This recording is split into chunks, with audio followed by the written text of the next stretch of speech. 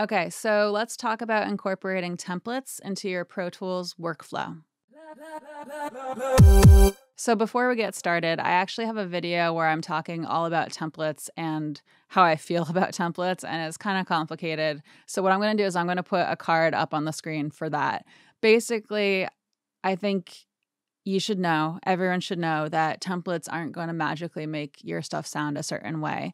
Um, they can be a great starting point, but if someone's selling you a template and trying to take your money in exchange for a template, saying that it's going to be some kind of a magic pill to solve your mix problems, then I would not trust them personally. So check out that video um, if you're not super familiar with the whole template world and um, you know people trying to make a profit off of templates.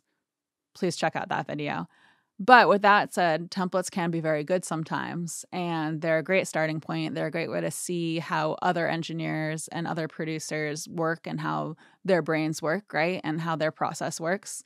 So sometimes it's great to have templates. It's great to get templates from other people. And sometimes it's great to save out your own templates to use, right? So, with that said, what we're going to talk about today is how to take a template, for example, one that you might have gotten from someone else and downloaded and then incorporate that into your workflow. And I'm making this video because of a conversation on my Patreon Discord. So this came up in a conversation. There were questions about it, and I wanted to make a video to sh- show how it works, right? Instead of just talking about it. And, you know, part of me thinks it is a lot easier to just show it. So there's that.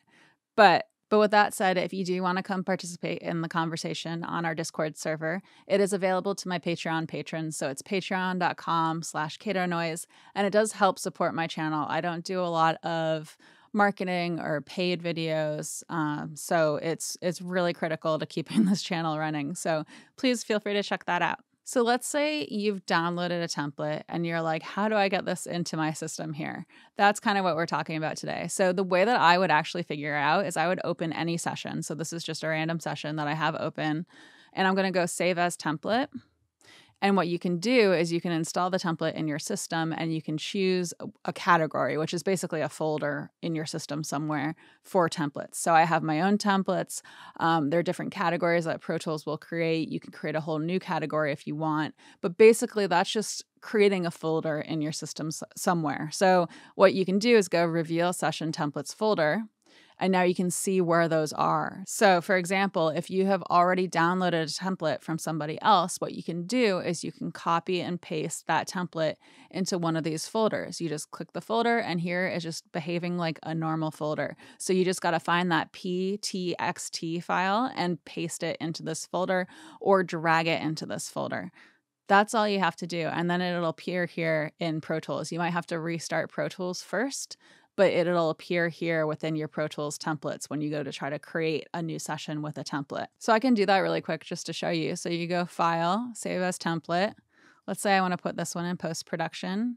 I'm just going to leave it with that name so I know and I can find it later and um, get rid of it. But um, you can also select the location for your template and you can choose whether or not to include media. So if I am creating a template, usually I do not include media because usually what I want to save are things like the different tracks, what tracks are there, the different aux tracks, the plugins that are included, stuff like that. But then usually I don't want to save the actual audio.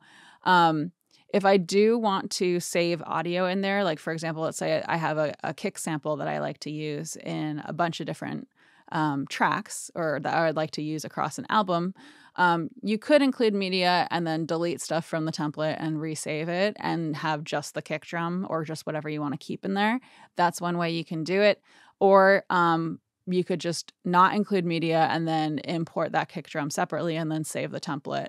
Um, so there's a couple different ways you can do it. And if you want to be really safe or really specific about what media you're using, one easy way to do that is to make a whole duplicate copy of your session folder before you save the session template at all. And then you can just delete whatever you don't want, you know, pare it down to what you actually want in the template. Because a lot of times, what's in the actual song session, for example, is going to be way more detail than what you want in the actual template. So um, sometimes I will actually just straight up copy the whole session folder and then paste it on my desktop, for example, and then open that version pare it down a ton, and then do a save as template, um, just like here. So it's up to you. Depends on what you're trying to do, right? But that's how I tend to do things. And then you just hit OK. And so now if I go to look in this folder, there it is. Clance Imes potatoes. So now I have this template. If I wanted to send this to someone, I could just send them this ptxt file and they'll have my template. Since I didn't include media, that's all I need to send to them. So it's pretty easy to create a template. It's pretty easy to just copy and paste a template into one of your folders for your templates, right? You, the trick is just finding the path for where it goes. So, you know, in mine here, it's in documents, Pro Tools, session templates, post, you know, and then whatever folder. I almost said post production, but whatever, you know, subject folder you want to put it in. And, you know, I don't remember the exact path on Windows, but you should be able to figure it out pretty easily. Um, just search that file path for for a Windows machine or you know run a search for the session templates folder on your computer and you should be able to find it. But you know if anyone has trouble let me know in the comments below. I'll try to help you out. Um, sometimes i can figure it out. Uh, i do have access to some windows machines with pro tools on them. So um, just let me know if you have any trouble. And then let me actually close this session. I'm not going to save because i haven't made any changes to it and then when you're working with a template like this, when you want to actually incorporate it into your workflow, what you can do is either when Pro Tools opens, you'll get that new session dialog, or you can go to create new. And then you just want to choose create from template here. So you just check that off, and then you can choose the template that you want.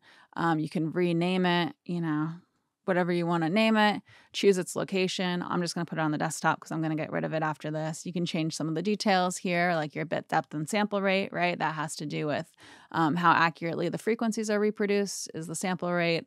And then bit depth has to do with your dynamic range. I have a video about all that. So maybe I'll link to that as well in the cards.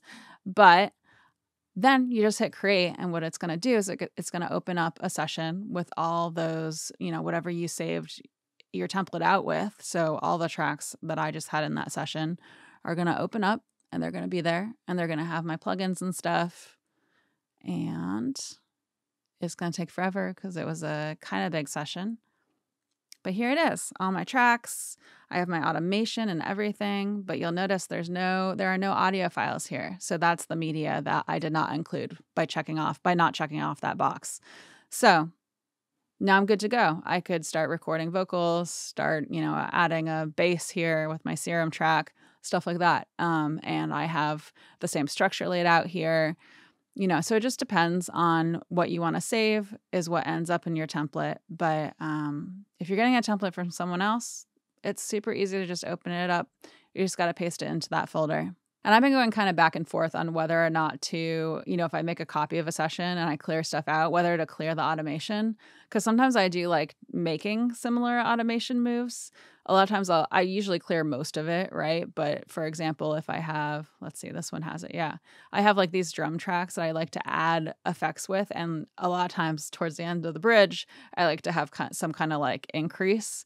So a lot of times I will leave like this part of the automation here, for example, and then I, I modify it, right? And I change it and I might remove one of these tracks or add a different track or, or what have you. I don't just leave it that way. But um, a lot of the time I will modify it. Um, so I'll leave it there so that I can have it as a starting point. But again, it's up to you. So I think that's about everything that I had to say here about templates. I hope I answered any questions that might pop up. Let me know if you have any more questions in the comments below. As always, like, comment, subscribe, hit the notification bell. I would appreciate all of that stuff.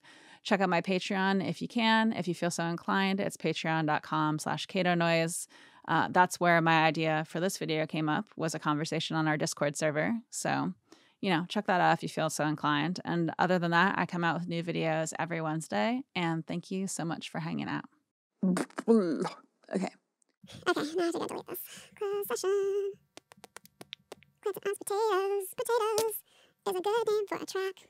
Potatoes it's got potatoes energy. It's got potatoes energy.